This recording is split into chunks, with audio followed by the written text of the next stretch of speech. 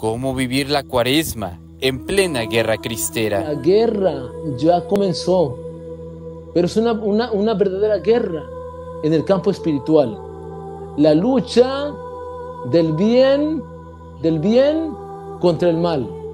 El bien contra el mal. ¿De acuerdo? Y es una lucha, sin temor a equivocarme, que se encrudece cada vez más. Una lucha encarnizada. ¿De acuerdo? Ese es nuestro contexto, hijos. De modo general, pero creo que voy a darme a entender. Para donde le demos, ¿eh? A nivel civil, a nivel civil, ¿cómo estamos? Hablemos del tema de la unidad, como dice el dicho, para muestra es un botón. En el tema de la unidad a nivel civil, ¿cómo estamos? A nivel civil, en mi país, México, aunque right now, ahora mismo me encuentro en Estados Unidos, soy mexicano, la cara me delata y la voz ya está, ¿no? Este, y a mucha honra, y guadalupano, por supuesto.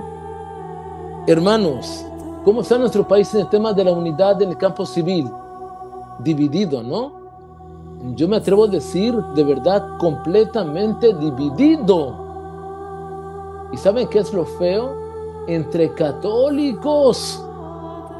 Entre católicos.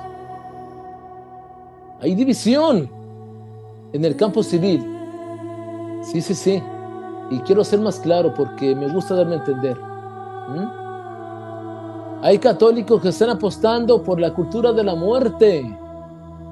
Hay católicos que me consta que le han echado perdón con palabras mexicanas. ¿eh? Este, le han echado bronca al párroco, a su párroco, porque habló este, en contra del aborto y el párroco solamente estaba hablando contra el quinto mandamiento, estamos obligados a defender. No me cansaré de gritarlo, hijos. De hecho, la primera entrevista que en ese canal, que fue justamente en la Basílica de Guadalupe, ¿verdad? Este, fue la primera vez que lo grité aquí en este canal. No al aborto, sí a la vida. Con nuestra Madre Santísima por delante, como tiene que ser. La aurora de la salvación es la madre de la vida, hermanos católicos, mexicanos, de modo muy especial. Me dirijo a ustedes. No, yo no entiendo un católico que se diga guadalupano y que esté apoyando el tema del aborto procurado. Perdón, que alguien me explique eso. ¿De acuerdo? Por decir un detalle, dividida nuestra patria en el campo civil, ¿de acuerdo? Que por supuesto toca el campo religioso porque toca el quinto mandamiento y en fin en fin, en fin.